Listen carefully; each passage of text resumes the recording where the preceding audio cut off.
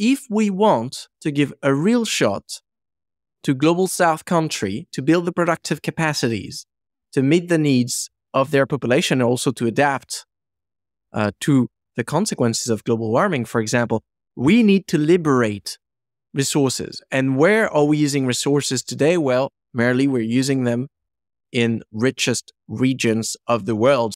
The true sustainable development is a development with two speeds degrowth for the rich regions of the world that will have to produce and consume less in order to create the possibility for sustainable production and consumption in the global south. Welcome to the Mongabay Newscast. I'm your co host, Mike DiGirolamo. And I'm your co host, Rachel Donald.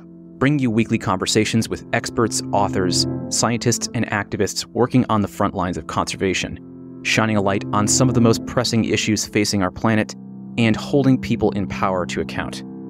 This podcast is edited on Gadigal land. Today's guest on the newscast is economist and researcher at Lund University, Timothée Parrique. He speaks with co host Rachel Donald about a concept some 20 years old called degrowth, what it is exactly, and why he says it is a way for a truly sustainable development pathway for our global economy diverging from the ecological stress of the current endless growth economic mindset. The term is arguably misunderstood by some high profile scientists. Last time on the newscast, we hosted data scientist Hannah Ritchie, who, in her new book, Not the End of the World, criticized degrowth, saying it won't fix our problems, and that a world with degrowth would be, quote unquote, even worse. But not all experts agree. Parrique clearly defines what degrowth is and what it isn't, and why some economies, such as the United States, are actually currently wasting trillions of dollars that could be diverted to quality of life improvements. It's a very informative discussion, and I hope you enjoy it. Tim, welcome to the show. How are you today? Hello, very well. What about you? Good. Yeah, I'm pretty good. I'm very looking much looking forward to this conversation. Degrowth isn't something that's been covered a lot on Mongabay. So we've got a lot to cover in the short time that we have. Let's get to it. Could you give a brief overview of uh, degrowth and degrowth in relation to our current economic system? Okay, so degrowth is a French concept. It comes from originally it emerged in 2002 as décroissance, soutenable et convivial. So sustainable and convivial degrowth. That was the original concept from 2002. And back then, people were just trying to think critically about sustainable development, and especially the fact that sustainable development as was integrating the notion of just infinite growth. So sustainable development in the global north was the very same as sustainable development in the global south. And we would expect all these countries to kind of forever produce and consume more.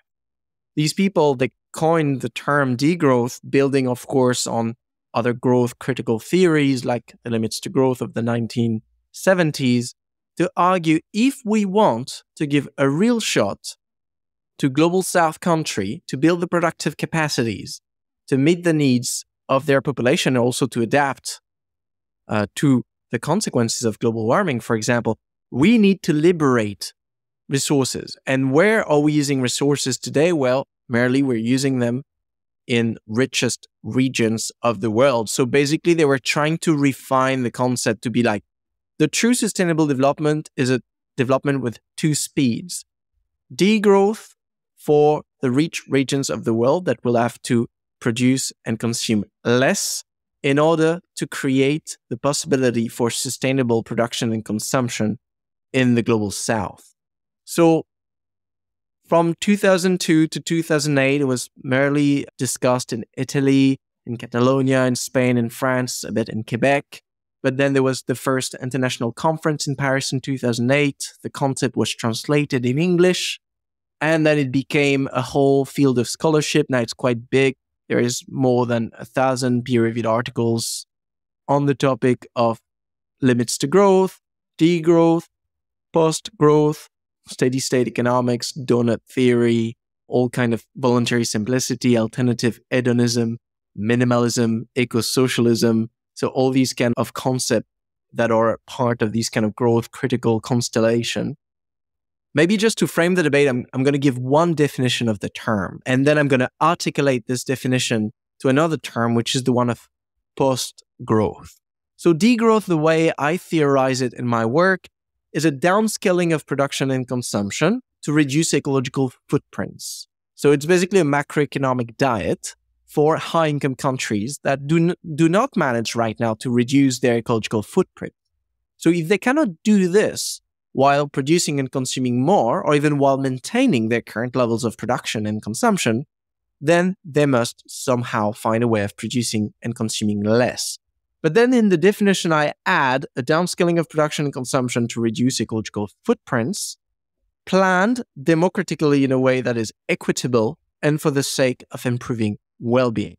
So here we're still understanding degrowth as a temporary, selective macroeconomic diet, but that is designed so it's not like the contraction you would have during a recession, which really looks like more of an amputation. It's more like a diet where you decide, okay, what sector is going to decrease? How do we stabilize? How do create do we create safety nets for workers, for consumers, for municipalities, for national budgets, so that we can keep prosper without growth, as Tim Jackson say. So that's how I personally theorize degrowth, and I think that vision is pretty much democratized, consensual within the degrowth field today. And then we can articulate this transition, the macroeconomic diet, degrowth with a broader concept, which is post growth. And post growth refer to what Canadian economist Peter Victor called management, like managing without growth, or Tim Jackson called prosperity without growth, or Juliet Schor called plenitude, or Hartmut Rosa called resonance. All these concepts kind of trying to look at okay, once we've done the diet, what is a healthy economy? A healthy economy that can both satisfy needs, so it can be prosperous in social terms, but also remain sustainable. So without, we, we would say without overshooting the carrying capacities of ecosystems, we can look at planetary boundaries or any other kind of indicators like ecological footprint, but you want your economy to remain in a steady state, as Herman Daly was saying already in the 1970s. So here we can divide that mode of thinking into degrowth transition question, post growth destination question. Wow. What a phenomenal introduction and lots of places that we can shoot off from. Thank you, Tim. The first thing that I want to touch on is if degrowth is downscaling production and consumption, this macroeconomic diet for rich countries, there are some economists and certainly a lot of politicians that claim that we can decouple our production and our consumption from our emissions, i.e., that we will continue to grow infinitely our economies whilst decreasing our impact on the planet. Why is that a load of nonsense? Yeah, I, I think they're wrong. And you know what it reminds me of is like, reminds me of me when I was a kid and the first time I tried to solve a Rubik's Cube. And I kind of like solved one face, you know, one color. And I was like, look, I finished the Rubik's Cube. And, you know, in the same way that these neoclassical economists and politicians, they're like, look, we've managed to reduce carbon emissions.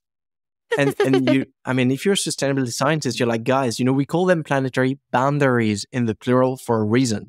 Like the ecological transition is Rubik's cubes with many colors. What makes it difficult is that you have to solve them all at once. Especially these colors, they're shared colors between different countries. So if the UK managed to slightly decrease its carbon emissions, it cannot call this growth green or sustainable. That will be a sham of actually what uh, a sustainable economy needs to be. So to these people, I tell them, okay, if you want to show, if you want to prove that we can keep producing and consuming, that what growth is, while being sustainable, you need to show that we can decouple economic growth from all environmental pressures, extraction of metals, biomass, materials, water, fossil fuel, emissions of greenhouse gases, degradation of soil fertility, land use change, biodiversity loss, production of e-waste, production of air pollution, all these stuff that are today pushing us in the ecological red you have to show that you can bring them back in the green. And of course, you need to do this while taking into account these environmental pressure wherever they happen. Because very too often politicians that like, look in France, we've green growth. I'm like, you've not green growth. You've basically you've been delocalizing, you've been moving to other countries, the almost pollutive industries, and now you're just using iPhones and computers that China is producing, and you're like, oh, the Chinese emissions are just enormous, which is a bit like, no, that's called, you know, imported emissions. And that's 56% of the French carbon footprint today. So more than half. So if you can show that you can decouple GDP growth from all these pressures wherever they happen, and you can do this not only for a small period of time, which often countries do actually when they experience a recession, like they did during the pandemic or during the financial crisis, which is quite funny because the kind of green growth that people kind of celebrate, it's a green growth that has been mostly driven by economic contraction. So that's where I'm like, okay, guys, I mean, that's the very definition of green growth is. And so, and you need to do this sufficiently fast. And I think that's the most difficult because for certain environmental pressures, we're not even starting to do it. That can be material footprint. It's very difficult to lower, like the mass of uh, biomass, uh, metals, minerals, and fossil fuel that you extract from the ground. Very difficult to reduce, especially materials. It's easier actually to decrease greenhouse gases because you just need to stop using fossil fuels and use alternative use of uh, like forms of energy, which is like one of the easiest thing you could do. Even that, we're not doing this sufficiently. Like the the only con- the only eleven countries in the world that have experienced these kind of supposedly uh, low carbon growth, so GDP up and just uh, greenhouse gases down, they've done so at a speed that is so minuscule, so tiny that actually doesn't make you green, makes you just relatively a tiny bit kind of greener than what you used to be before. And this doesn't include any equity consideration. So again, if you put these quote unquote achievements with the framework that shows you basically the splitting of the global carbon budget in between global south and global north, that's how degrowth started. So we always need to take into account inequality then you realize that actually the global north is just whatever they can do while growing their economy is just much, much, much, much, much insufficient. And so that's why for us growth critical scholars, like there's no way of squaring the equation without considering a significant decrease of production and consumption in these high income countries. I think something that we need to address is this, you know, growth critical because it's not just about the planetary boundaries. It's also about the fact that these economic systems that have been built on infinite growth have not benefited the majority. Growth is not giving what it is purported to give. And certainly since 2008, since the global recession, what we've seen, even in quote unquote developed nations, as quality of life is going down, even the average life expectancy now is going down in places like the United States whilst their economy is growing. And so growth is seemed to be a, a manner of essentially a small minority skimming off the the profits and hoarding these resources for themselves. And there was vaguely enough to go around when we were developing welfare states post World War II, which is how we saw this boom in welfare states and living qualities in the developed nations. But that was whilst colonialism and exploitation extraction was happening elsewhere in the world. And since we've kind of brought it home, since these post colonial states have been attempting development themselves and attempting to raise the living standards and entering into the global market with a small capacity to negotiate, what we've seen is the well being of people in developed nations uh, crash effectively. So it seems odd, even that there's still this conversation around growth and wanting continued growth when it's so obviously not working, apart from to line the pockets of the few, which really reveals sort of the state of politics today around the world. It, it reveals the state of politics and also the, the poverty of modern economics. It's the situation would be like a bunch of adults in a room arguing over the best way of just growing in centimeters without managing to do so, without mm-hmm. understanding that past the age 25, nature does that we stop growing in centimeters. And it's not about how high you are. The difference between you being 25 and 35 and 45 and 55 is not stagnation and, you know, a disaster if you still, you know, I'm 180 when now I'm 34, the same 180 I was when I was 24. I've mm-hmm. changed in other ways. And so now it feels we're stuck on the wrong indicator and we're actually looking, you know, at the finger that shows the, the moon is hmm. Development is how do mature economies actually start shifting from quantity, from volume to quality, to conviviality, to all these mm. more subtle indicators instead of just looking at the finger, which is just GDP. So just blind monetary agitation. So right now, I think we need first to have this collective realization that, yeah, we've been for the last decade obsessing over an indicator that has lost all correlation with what should be considered true development, which is pretty consensual. Longer, healthier lives, convivial lifestyles, healthy diet, lack of poverty, relative equality, dynamic democracy, free time, all these kind of stuff that I think people want, if they're not correlated with growth, or even if the pursuit of economic growth is degrading these very often through the degradation of ecosystems, why are we inflicting ourselves that pain? And inflicting ourselves is a bit too light an analysis because we're mostly inflicting that pain on vulnerable people of the world. Who are already bearing the brunt of that supposedly magical economic growth we've experienced during industrial revolution. Which did come from you know the genius of or a few engineers that kind of invented the steam engine or whatever. It came as you you rightly said from a massive appropriation of labor time land energy and materials from the global south and this is why now we must be very careful when we compare the different footprints of countries. First, we need to follow the trails, as I did for France. When we look at emissions in France, we include imported emissions. That more than doubles the emissions of France. So that's significant. And then we look at emissions per capita.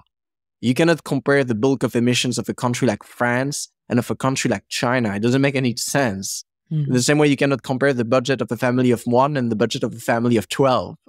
Obviously, you know, it doesn't make sense. So emissions footprint per capita. If we do that, we realize that there is still a huge divide between this minority world of very high carbon footprint that are living above their means and they are still monopolizing a huge chunk of the world carbon budget and a majority world of very low carbon footprint that right now do not have access to the energy and materials necessary for their own development. And worse than that, actually are living in conditions where these access is being degraded because ecosystems are degraded or because the, these economies have been for decades organized around the supplying of materials and goods and services for the global north. So to feed that kind of overconsumption in the north.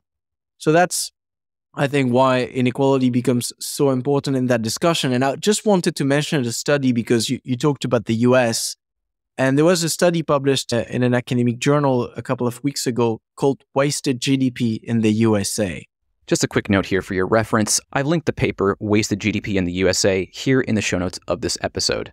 So, what this scholar tried to do basically is to calculate how much of the American GDP is wasted in because it does not contribute to increase life expectancy and education levels. So, we're mm. looking at what we mm. call like the non income human development index. So, just education and health. And so, that study compares the US to other countries and realized that 27 countries outperform the US in terms of education and health with a lower GDP. So if you look at the top five performers, Greece, Spain, Slovenia, Japan, and Cyprus, these countries, they managed to beat the US in terms of life expectancy and education levels with an average of 37% less GDP. Mm-hmm.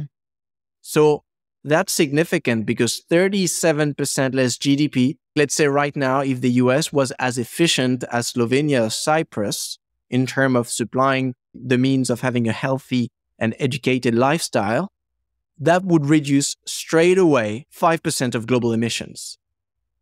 That's what Wow. 30% of wasted American GDP is. Like every year, just in the US, we emit 5% of global emissions that serves no purpose whatsoever. That is just the product of a wrong organization, like a system that is badly organized, that is very inefficient in delivering something as simple as just health and education services. That is fascinating. I mean, we're just spending our money and our money. It's not even our money. I mean, this is the thing with when you it's like the curtain keeps falling away the more that you learn about the global economic system and especially like the degrowth theory. I've been God, I think I first interviewed you about a year and a half ago.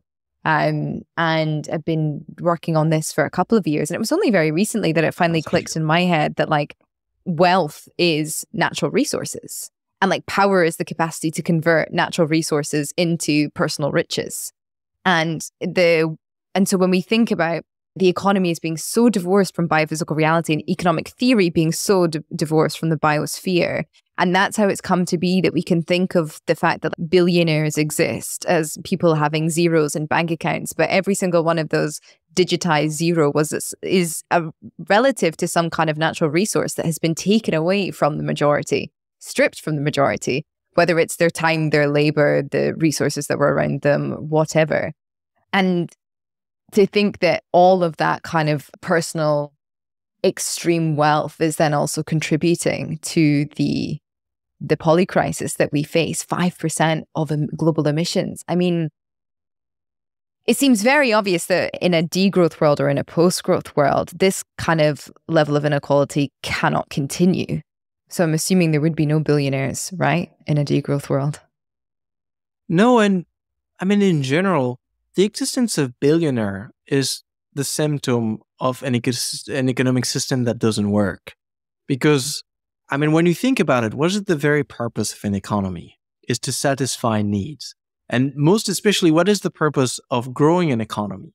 Well, when your economy is not big enough, when you don't have enough productive capacities to meet the needs of all the population, which is the case in many low income countries, you need more agitation. As you said, you need to transform natural resources into useful goods and services. So, obviously, if you look at this macroeconomically, that's going to be a bigger economy. But so we understand that growth is a temporary phenomenon. You go from unmet needs to needs. Once you have the productive capacities that is sufficient to meet the needs of the whole population, there is no point continuing to build hospitals and roads every year. You already have enough. Mm. Then you switch in quality mode. But the formation of inequality, especially in a country where you have unmet needs, is very inefficient because that means a, a minority gets the right and access to a lot of resources that they don't need because they don't have unmet needs. So it needs you need to grow your economy just to create or actually hope to create extra stuff to eradicate poverty. Whereas actually you already have enough stuff. It's an allocation problem, not a production problem. This is why it's quite funny when people expect, even in rich countries like France, economic growth to eradicate poverty. So for the last decades in France, poverty has been on the rise, which is surprising because we are supposedly one of the richest countries on earth. And if mm. you decompose, let's say 100 euros of economic growth, in which pockets does it go? So you have 35 euros of that extra 100 that goes in the pocket of the top 1%. So these people, they don't need extra money. They're already in the top 1%. So they, let's say they're the people that are most distant from potential poverty. So then you get 32 euros that go to the next 9%. So already you have the great majority of oh. that 100 euros being appropriated by the 10%, which, I mean, that's the logic of capitalism. It's just we reward people that were already rich that kind of invested their money. So that's the way it works, which is c- counterproductive in economic term if you acknowledge the fact that the economy is about need satisfaction. And then if you look at, let's say, the poorest half of the French population, so that's the kind of income you want to grow. That's the people that actually need to have access to more or better health, education, food, housing. These people, they only pocket eight euros. So basically, that round of economic growth is enriching the people that are already rich. What are they going to do with that 70 euros they've earned? They're going to just invest it. How are they going to invest it? For example, they're going to do what we call like housing investment. They're going to buy property in cool cities like Paris or Lyon or Bordeaux or Biarritz. And then they're going to rent it to people that don't have the means of buying their own house.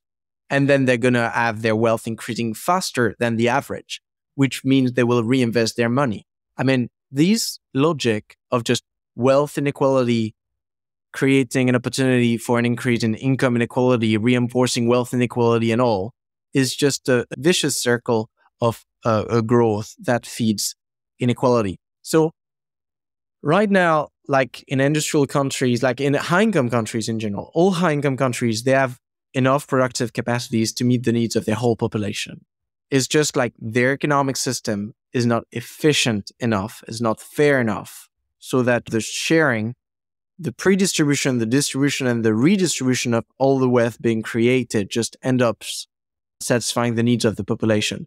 And these the decision makers in this country keep blindly pushing the GDP button in the way like a, a, teenage playing video games would just like you know refresh a page a thousand times because your internet is stuck you know because your wi-fi is crap that's what we do with gdp like refresh refresh. I hope that gdp growth somehow is going to solve poverty is going to solve inequality is going to finance you know it's going to avoid austerity is going to finance innovation. I hope that's it's going to finance science and all of that and solve climate change. It's not doing that. That's not what that button does. So if you want to do this, you will have to have more sophisticated policies in order to achieve these goals. Some pushback to degrowth has been that it is uh, resource blind in the sense that even if we redistribute the, the wealth in global north countries, raising the living standards of the majority world um, is going to cause ecological overshoot or worsen ecological overshoots. What would you say to that criticism? There's a first I think misunderstanding to diffuse is the fact that we can maintain the way of life that we have in this, what some scholars call the imperial uh, mode of living. So basically, the way Europeans live, let's say, to, to not take like an outrageous average like the American or the, the Australians. so we we stabilize the way of life of the Europeans, and then we can bring everyone up to that level. That's delusional there's there's not enough materials, there's not enough soil. The biodiversity will not take it. It's just it's not something that is, I think, biophysically possible to do. So we need to do what, uh, like some Australians, they've been talking about, like the simpler way. It's kind of a very like low tech, low resources way of life. The people in Quebec they call it voluntary simplicity.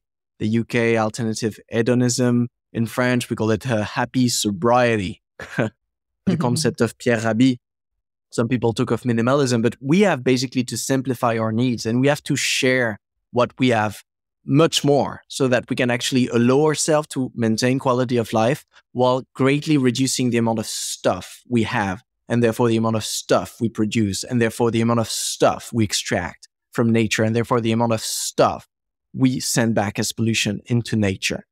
If we want basically to give a fair shot to people in the global south that will never be able to have the kind of life we have. So if you look at the top 10% of humans today that just have access to planes, remains a minority world and they just fly around.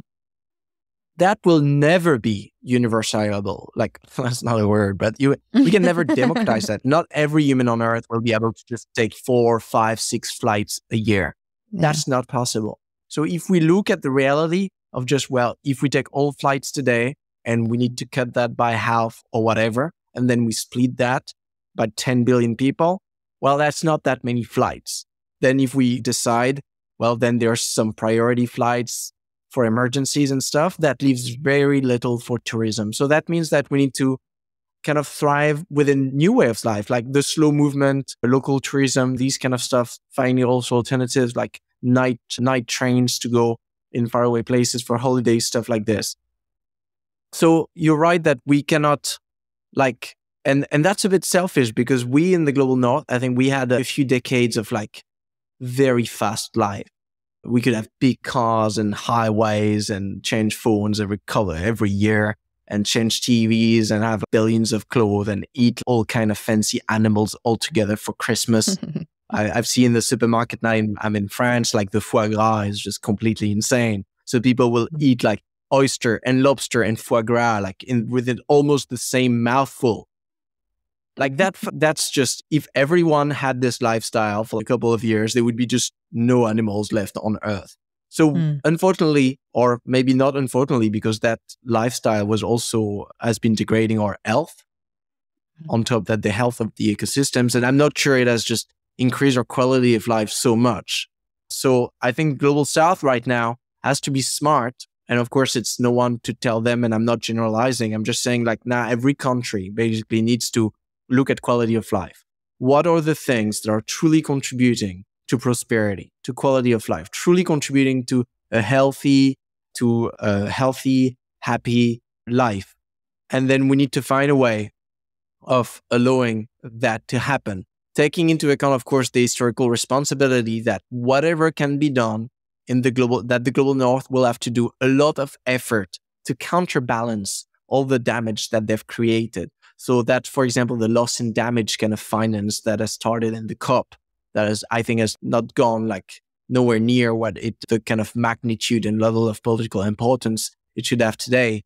But that's, that's what uh, I, I would say on, on this issue of just like fairly splitting. And then I'm going to quote that sentence from the IPCC that has been going around that I think is just a nice summary of that. It's just well being for all within planetary boundaries. Planetary boundaries, they're set. We know that. The population on Earth is pretty much set, at least for the short term. And so we have to do with that kind of ecological budget and we have to guarantee as the best we can well-being for all.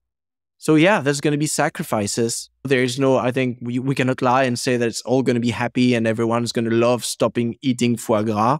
Yeah, well, people love eating foie gras in France. And yeah, maybe that's going to be a bit of a sacrifice to stop but we always have to compare the small sacrifice of not being able to go shopping, uh, to take a, a plane in Barcelona instead of taking a train or a bus versus the inability of a family somewhere in the near future to just have access to drinkable water or doctors or basic life, decent life services. Not just in the near future, right now. And also for us in the global north or the west or the minority world whatever term you want to use, there is no doubt that if we continue, we are going to blast right through the semi decent carbon budgets left. And quite frankly, I mean, I spend a lot of my time thinking about our food systems. It's not going to be a case, you know, if you if you stop eating foie gras now, maybe we'll get to a place where we can feed everybody. Whereas if we continue to consume, I love how foie gras has become sort of this metaphor for luxury, but if we continue con- to consume foie gras in the way that we are, um, it is fairly likely that in Europe, at least, and quite possibly in the United States, we are not going to be able to feed ourselves because our food systems are on the verge of collapse due to all of this ecological pressure with how much that we've extracted and are messing with the climate. That's completely true. I would agree to this. And so, so not we, I'm not going to take a foie example again, but I just wanted to focus on just those millionaires you, you talk about. And now I'm referring to another study that was recently published. And that just look at this kind of carbon emissions of these millionaires right now. And just if you take them all together, and I mean, so that people realize the millionaires in the world, let's say in US dollars, in 2020, there are about like 51 million millionaires. Okay. So that's a small crowd knowing that basically if you take the 1% of humanity, usually these categories, 1% is 77 million. The top 10% mm. we talked about earlier is 700 million. So millionaires is basically a bit smaller. So 50 million out uh, within the, the top 1%. And these people, if they keep, let's say, uh, their emission increase and their share of appropriation of the global carbon budget, they will alone this 51 small group of the million people that will use 72% of the 1.5 carbon budget over the next 30 years. So that's yeah. quite, it's strange. Imagine you have just one very scarce, precious resource, concentrated energy that you can use for very fast need satisfaction. Like we have a flood, we have to build back all the building. Like then we can use powerful energy to do this or we can just use all that energy and give it to the richest people that can just waste it on consumption that is actually not satisfying needs in the very definition of the term. And here I'm not judging like their lifestyle being, it doesn't make them happy. I'm sure it does. It's just like from a statistical perspective, whatever they do with their energy footprint is not raising their life expectancy, their education levels is not, and is not even raising like, or not even, is actually not raising general levels of well being in the countries where these people uh, use these massive amounts of energy. Yeah, it is very much wasted resources. So let's paint an example because there's a couple of cities in the world now that are implementing degrowth models.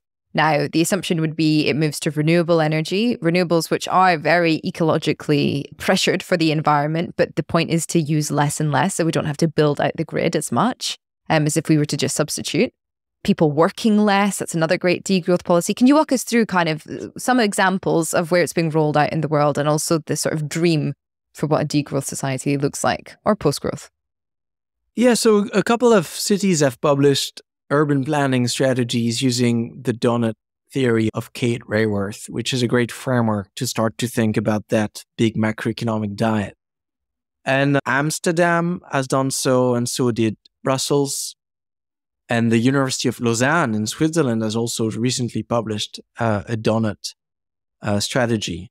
And so when you do so, the first novelty, and that's groundbreaking, is to consider to start from the biocapacity of your ecosystems. So it's not mm-hmm. like nature becomes the first, let's say, stakeholder in your development strategy, whether you're a municipality, a company, an association, a country, or even a group of countries. You start from talking to your ecosystems and calculating their carrying capacity. What can, what is the state of nature right now? Is it healthy? Mm-hmm. how, how much and what is the quality of ecosystem services we have, bird populations, insect, microorganism in the soil, water cycles. So you look at all these very different ways that used to be completely disconnected from economics because as you said with economics we're starting from let's say money and machines and just you know workers now we're hmm. starting mm-hmm. ahead of that biocapacity that is giving a cap in degrowth economics, biocapacity is giving you the cap. You cannot run faster than nature. So if nature says, you know, that's the maximum amount of food you can sustainably harvest from the soil you have, that's going to be your cap for consumption. Or otherwise, you can cheat, use pesticides, use fossil fuels, go a bit faster than the music for a while, then you crash your soil and you will get nothing. So you're going to cheat with nature. I think that's the biggest lesson of the 20, 20th century. So you do that, and then you do the same kind of inventory for needs. That's really the novelty with degrowth economics is that we're looking at biocapacity and we're matching this with need satisfaction, but not looking at euros. We don't care about growth and inflation and stuff yet. What we care is actually concrete needs, decent housing, adequate diets and food av- availability. We look at needs wh- wherever these needs are in the population you're looking at. So needs being voiced by the people themselves, telling you like every day I need to drive my kids to school there, and then I need to do that, and I need someone to watch my kids, and I need this kind of medicine because I've got this kind of sickness. You look at all of that, and then you ask yourself, okay, good. Now we've got the different footprints of the things we do. We know that when we build, let's say we're in Amsterdam and they wanted to build, I mean, some companies wanted to build this huge data farm. And Amsterdam realized, well, if we do this, that's going to monopolize a lot of our electricity and it's going to be massive. Do we want to do this? In all the like well-being footprints of everything we could do with that energy, is doing data farming with is it really our first priority? And if mm-hmm. we are overshooting the carrying capacity of our ecosystems right now, and so we want to decrease our total ecological footprint, do we prefer to shut down a school or a hospital or a data farm that is mostly, I don't know, like hosting porn content? You're like, well, you know what? If I had to choose and I'm a decision maker, I will take the lowest well-being footprint and I'm going to shut the porn data farm. And so that's basically what degrowth economics is this kind of matching of matching like high, trying to target high ecological footprint activity that also have a low, relative low well-being footprint so those can be shut down first and you shut these down so you can maintain and actually expand. Countries, for example, right now, they're transitioning to carless mobility. That demand the building of a lot of bike lanes if you're a city. Bike lanes, they don't appear, they don't appear magically. You need uh, concrete, you need energy, you need time, you need a lot of things to build them. These things, they won't be available if you're using already all that energy to build massive highways or new airports. So from a degrowth economics perspective, you're like, okay, guys, we want in total to use less concrete because we know that's a huge part of our footprint. So we're going to cancel that airport extension. We're going to cancel the, all these highway projects. We're going to cancel the mall extension. We're actually even going to decommission and deconstruct an airport that was only including national airline, which we've all closed in order to reduce our carbon footprint. And we're going to use, let's say, a portion of these materials to build bike lanes. So you see, we have general lowering of the ecological footprint, even though we can have more bike lanes. Mm-hmm. And the equation, and that's the social equation we're trying to maintain, is to be like less highway, but more bike lanes. We want, we can increase actually mobility. Like we can increase our ability to satisfy mobility needs if also we simplify the needs and we better share access. So instead of each having each household having an enormous electric car or even a non-electric car that requires so much resources, well, you know what? We're going to think urban planning so people can have access to their jobs and where they bring their kids to school without having to drive for 40 minutes on a massive highway where they feel insecure and so where they want to have a huge car to protect their kids. No, we're going to think like that city to be smaller so you can bring your kids to school where they can go together safely on a bike. And then when you simplify these needs, you realize, huh, perhaps now I don't need a car. In the same way that if you lived in Amsterdam in the 80s, well, then of course you would need a car to do anything. And I've lived in Amsterdam for a couple of years.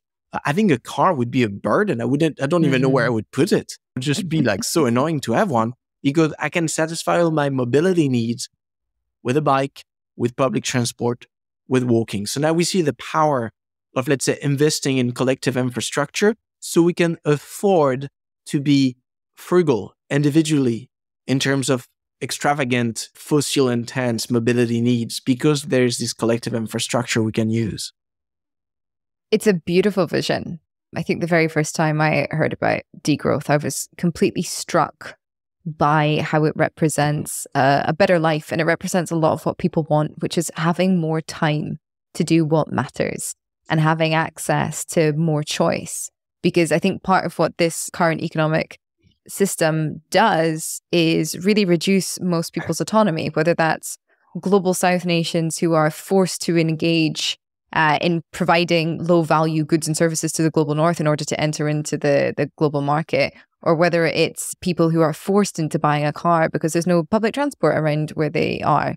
And this degrowth, post growth life really seems to just open up the, the vestiges of possibility, which will allow then for a more diverse culture, which will allow for more creativity and imagination and put us in a stage in the future where we will be better able to respond to a crisis if it hits us because more people's like brainwaves and imagination will be freed up to think about how exactly to respond to it. And I, I think that's a I think it's a very beautiful thing to be striving towards. And it's very exciting that it's being trialed and rolled out in different places around the world. Fingers crossed we uh, do it in time. Yeah, and just to take a little example, like what we're doing right now is such a mistake based on traditional economics because look at this, we're wasting the time of two highly educated people to engage in an activity that is not going to be lucrative. So right now in GDP terms, what we're doing is called leisure. It, you know, creates no value whatsoever. So let's say instead of doing that podcast, which I'm sure many people will enjoy, so it creates some kind of value, even though it's not monetized, it is mm-hmm. valuable nonetheless. It fulfills the concrete need of education, of information, even I hope of entertainment. But from a GDP lens, from a growth economics perspective, we would have rather not done this podcast, but let's say design an ad or even work directly at McDonald's just for an hour and sell burgers and get mm. paid minimum wage. But even that, from a GDP perspective, would have been a better use of our scarce resources that is ourself in terms of need satisfaction. So now we understand how nonsensical it is to actually to reduce the great diversity of activities we do as humans and that the living world is doing just through the lens of lucrative capitalist money measured business. That is completely mm-hmm. ludicrous. Like those people that are trying to estimate basically, well, the monetary contribution of bees to the economy. Is just oh god. the insect are not contributing like mushrooms yeah. are not contributing to the economy like they are the living world in its all complex togetherness. And so we cannot just isolate this and put a price on it and just let a millionaire billionaire buy it or let the central bank just create invent that amount of money, just print it out nowhere. Just that does not correspond to real value. So I think we need to accept a certain pluralism of value. And if we do this analytically, we reach, I think that like what you were describing, which is Jason Hickel call the, calls this the happy coincidence of degrowth. That what we need to do to right now preserve the health of our ecosystems, we know we need to just demand less. We need to leave them in peace. So less mobilization of land, less extraction of materials, less deforestation. We need to take care of biodiversity. We need to regenerate a lot of damaged ecosystem. We need to depollute uh, water streams. We know we need to do this, but this must not necessarily be done in a state of social misery. Actually, there's this happy coincidence where doing that, slowing down the speed of our economies can also generate a lot of social benefits first having to do with our mental health and our sociological health.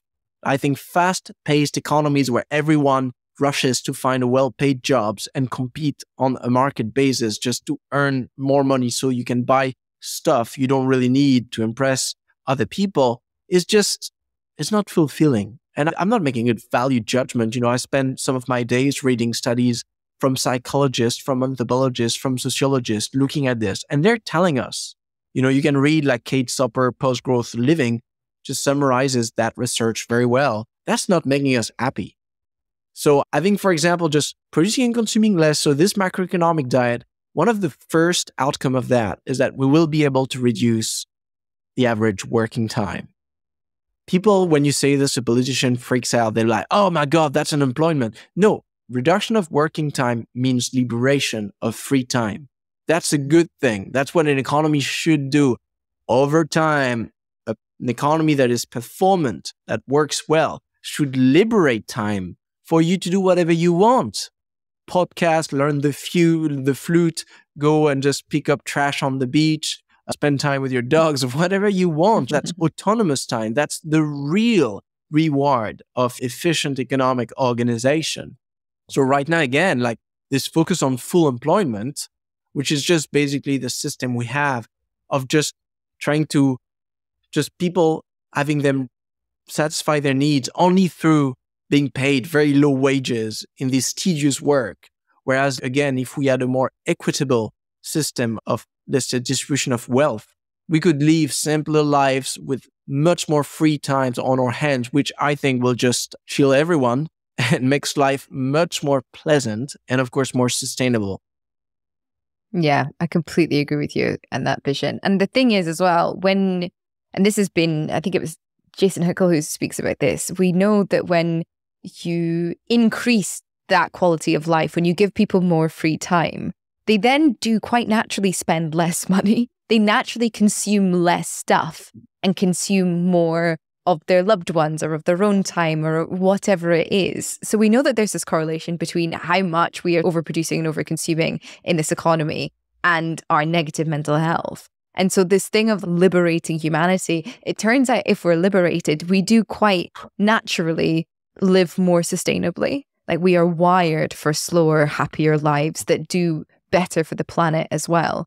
Because I mean, we've focused on the the human aspect of this and material aspect and economic aspect. But as you said, with the donut model, the nature becomes the first stakeholder. This is exactly what we need to do as well to, as you said, leave our ecosystems alone because they're not ours as well. We are part of them. Leave the planet alone so that she can regenerate, so that she can be well, so that we can share this planet with all of the diverse things that were here, some of them long before us.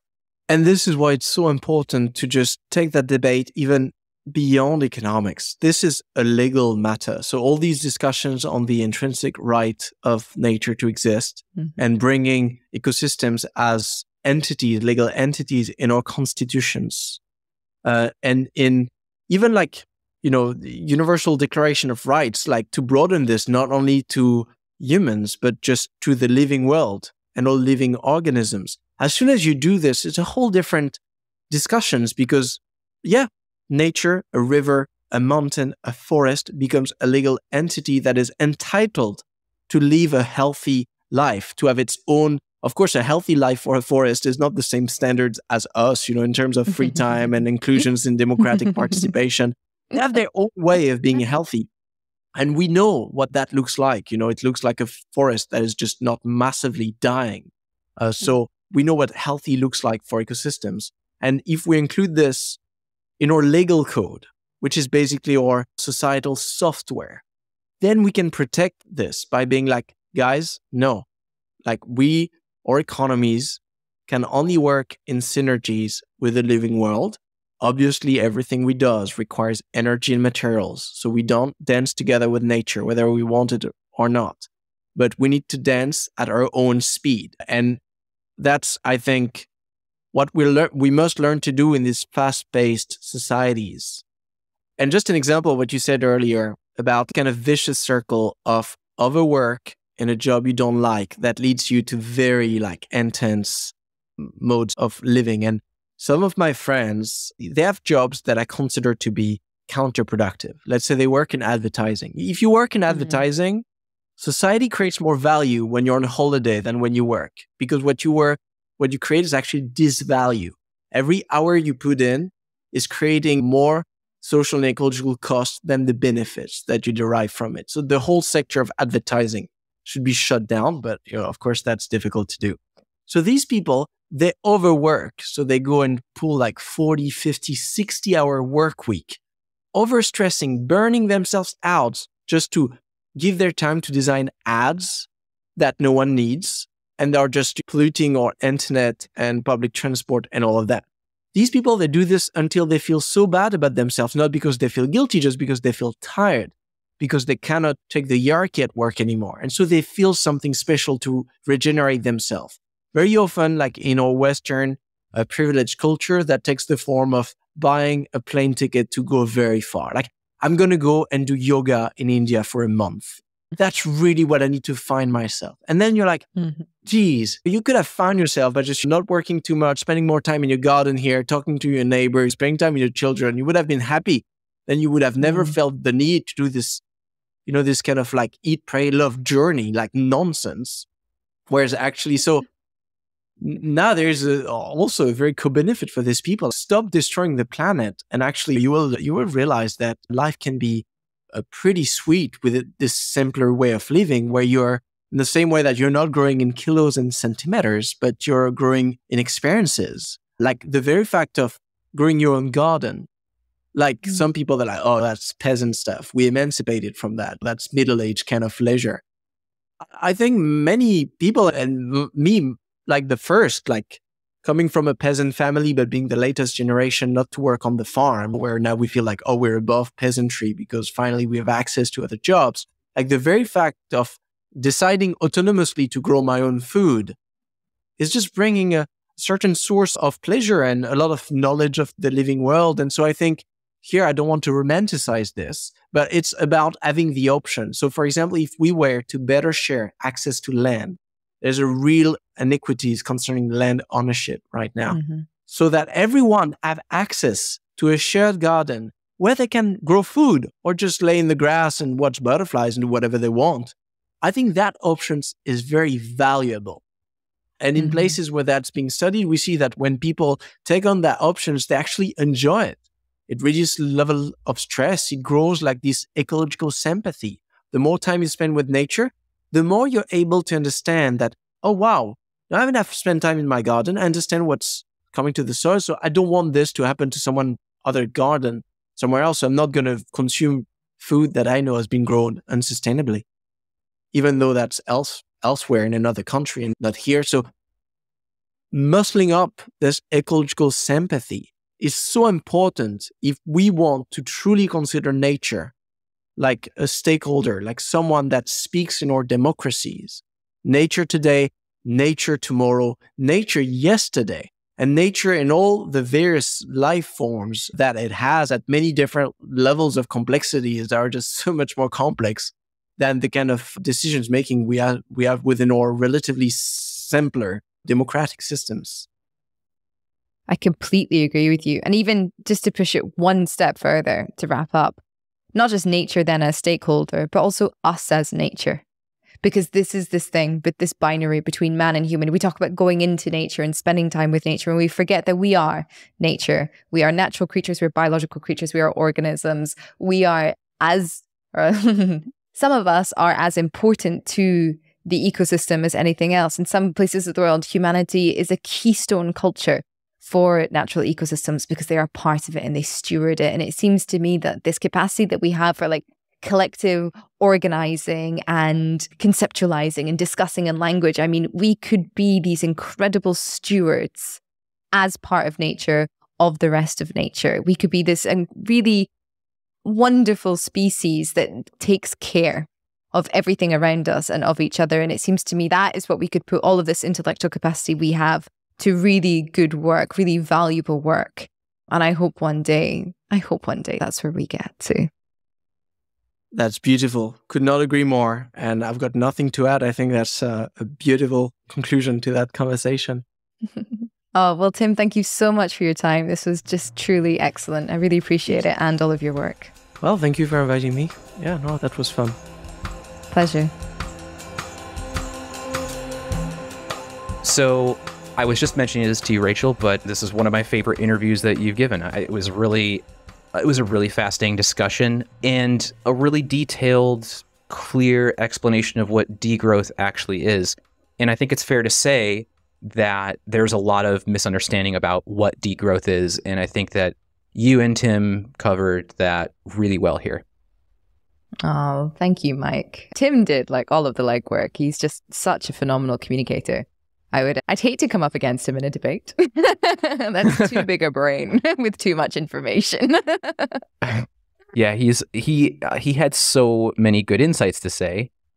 One analogy that really stuck out to me is that he compared the the idea of focusing on GDP as like how we measure the well-being of a society as sort of like measuring a person's height as being the well being of a person. Obviously, we don't continually mm-hmm. measure our height past the age of 25 and go, this is a definitive indicator of your growth because that's silly. Our growth plates fuse around the age of 25 and we stop growing. And there's other ways we can measure that growth. Mm. So I thought the analogy he used there was actually really cool. And it was a great way to describe what degrowth actually focuses on. It's a point that I've used time and again already in my conversations since recording that with Tim, because I think the whole point of degrowth is trying to like highlight the inaccuracies of measuring a well-being economy using GDP. And yet so many people forget that that means that isn't what degrowth's doing. It's not about a forced recession. It's not about diminishing people's access to GDP or the measurement of GDP or whatever. It's throwing GDP out the window and be like, no, no, no, we've got much better things that we can use to measure our well-being and our capacity, namely the planetary boundaries. So how about we keep within those to, to begin with?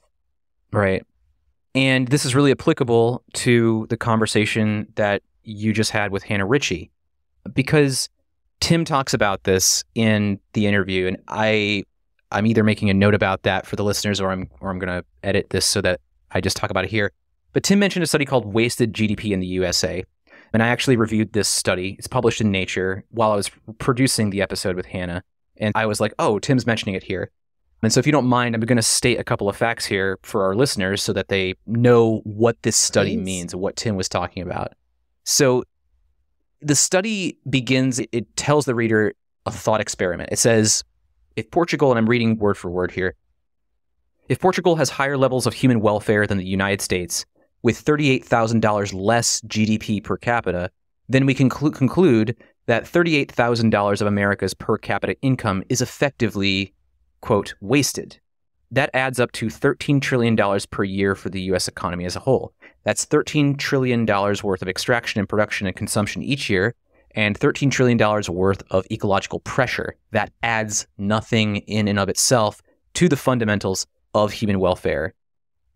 It is damage without gain. This means that the US economy could, in theory, be scaled down by a staggering 65% from its present size, while at the same time improving the lives of ordinary Americans if income was distributed more fairly and invested in public goods. And I feel like that was the that was essentially the point that Tim was making. And in the conclusion of this article, it says this. Rich countries can improve welfare from today's levels even in steady state degrowth scenarios if economic downscaling is combined with much more equal sharing, frugality, and efficiency with the latter implying squeezing more life support and want satisfaction from a given throughput. This would mean prioritizing policies that evidently promote well being over policies that are detrimental to social or environmental circumstances. And I just wanted to point out that sort of runs counter to what Hannah Ritchie was claiming, which is that we need to continually grow things in order to improve human well being. This study is saying otherwise, and it's explaining how. Yes, I'm really glad we're doing this back to back with Hannah. And I think ideally it'd be great to get Hannah and Tim in a room and, and hear them discuss all of these things. I think exactly as you say, not only with his argument, but with the sources that he cites, he really lays out how limited that is as a, as a viewpoint, um, as a discussion point, as a measurement tool, essentially. And I think Tim, I remember interviewing somebody years ago and a really great economist called Blair Fix.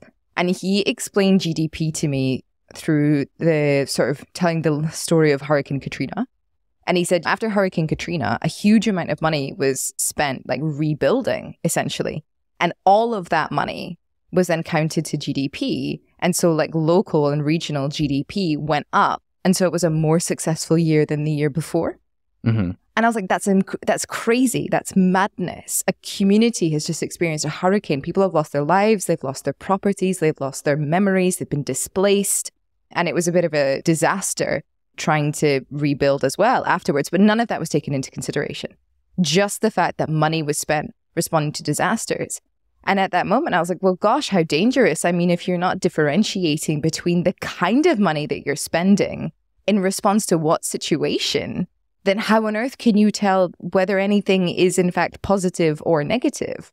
And to me, that really just revealed the the fallacy, like that a, dollar spent is the same everywhere, no matter what. Well, no, evidently not. And I'm really glad to see these studies now coming out on this idea of wasted GDP. I mean, they did it with reference Portugal. Be fascinating to see it with Cuba as well, right? A country that has been hit with economic sanctions, but still has a higher quality of life, people live longer, and higher well being than the United States and is much poorer than Portugal. Cuba does indeed have a higher life expectancy than the United States, according to multiple sources.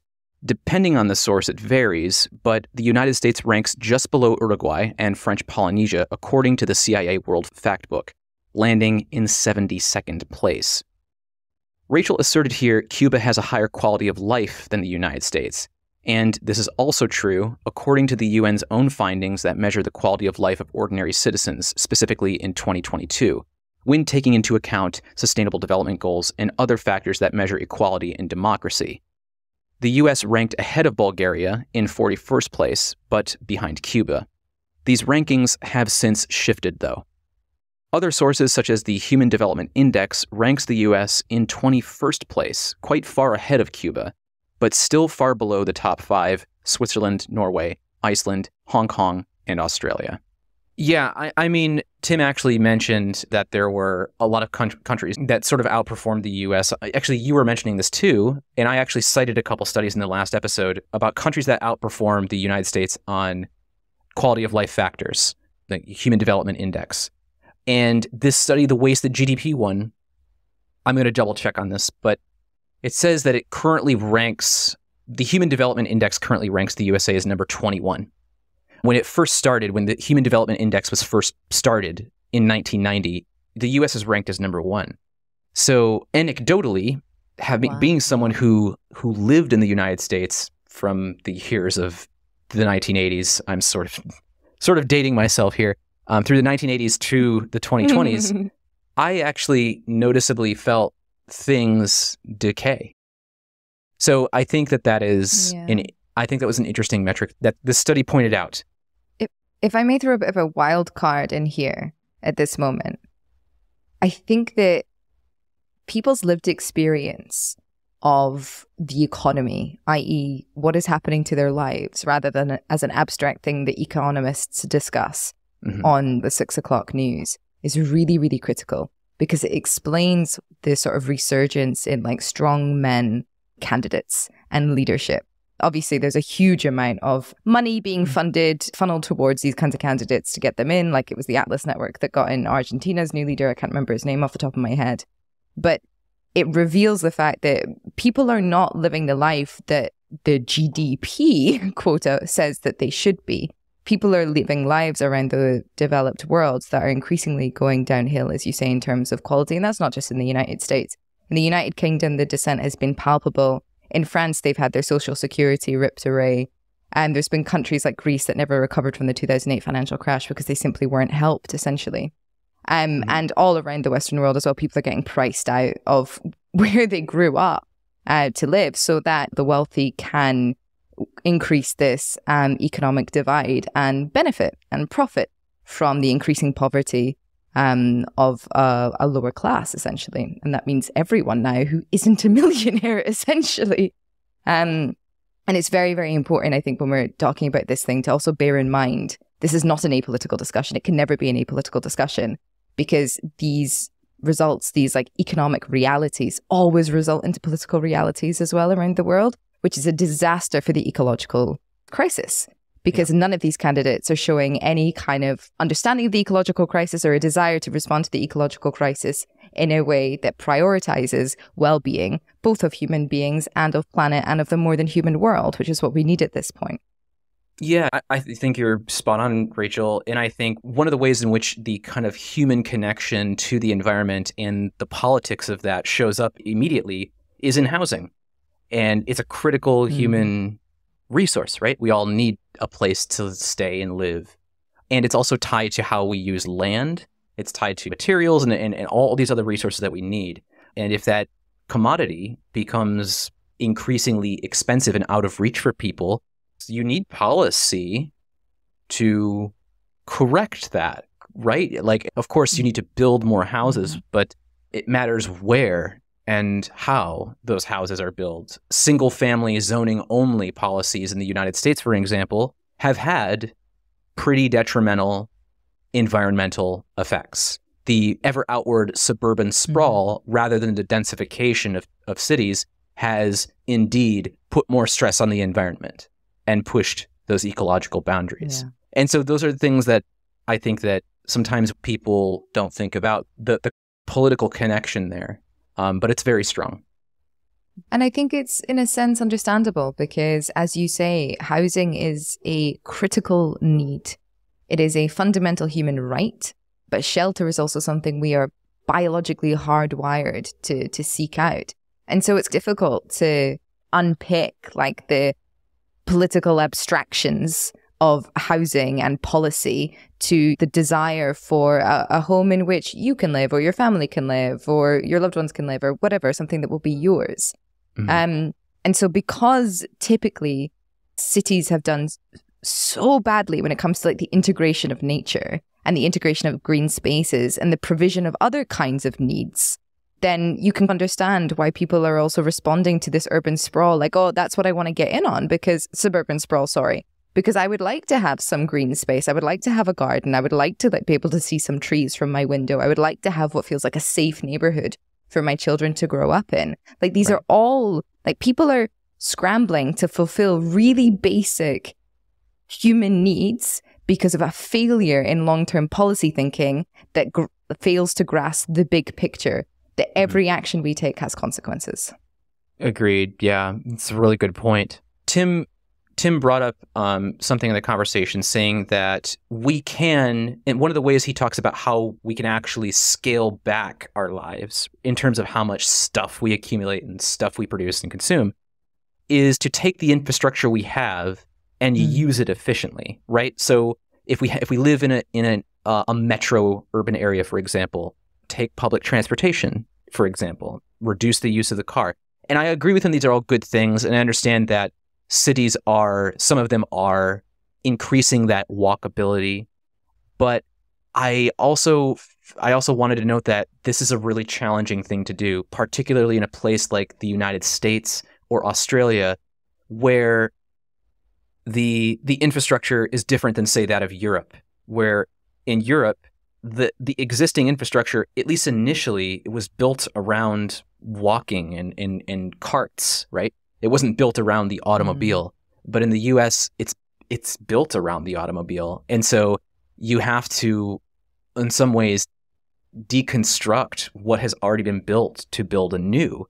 Not always, of course. It's a, there's more gray area here, but it's a different kind of problem, I think, than the problem that you would face in, say, Amsterdam. There's very few places in the United States like Amsterdam, or even a, a far cry of it. So I think that it's a really a massive challenge. I think obviously it's something that needs to happen, but it, it does give me, it does worry me about the scale of that and our ability to do it swiftly.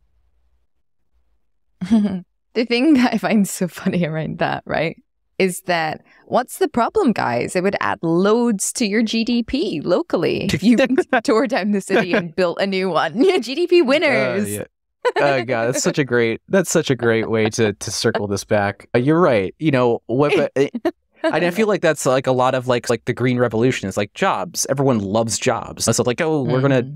build mm-hmm. lots of solar panels and wind turbines. Jobs, jobs, jobs. But I think jobs, it's jobs. it's also more complex than that. I also thought it was funny that Tim Tim made a really valid point. He said that ideally in a world we shouldn't be making this podcast. We'd be doing something more useful with our time. and he's I, I, think guys disagree with him that you two working a shift at McDonald's would have been a more valuable use of your time than this podcast. Just gonna disagree with that.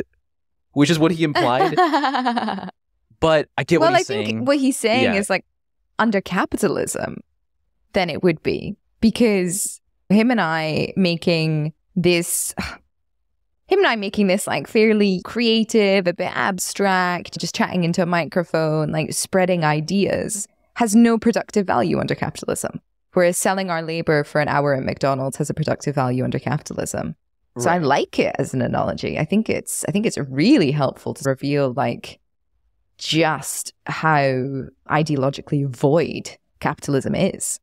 Right. I think I, that. Thank you for fleshing out that point a little bit more. And like, yeah, I agree. Ideally, we would be doing things for the more intrinsic value of it rather than just the dollar for dollar value yes. of it. And I, in my own mind, I imagine a world more where we do more of that. And I feel like sometimes Let's... people paint it as being too naive or altruistic. Let's do that right now, Mike. Let's let's let's do a little imagination exercise right now. Imagine we okay. live in a degrowth world. Okay? okay. It's 2030. No, closer. It's 2027. It's a degrowth world. We've implemented it. We're staying within the planetary boundaries. Nobody is having to work just for a dollar value anymore. Everybody is provided with their needs. People have the choice to go out and do what they want. You wake up in this like beautiful degrowth life. What do you do with your day? What brings you the most intrinsic value? Wow mm.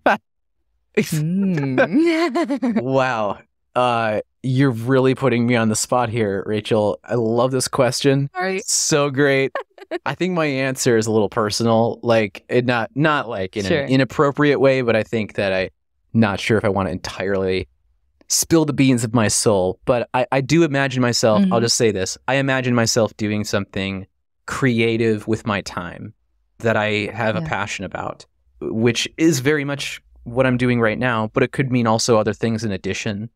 And there's certainly many like interests and pursuits I have that I currently probably don't have the time to pursue because of money that I would probably mm-hmm. pick up and do as well.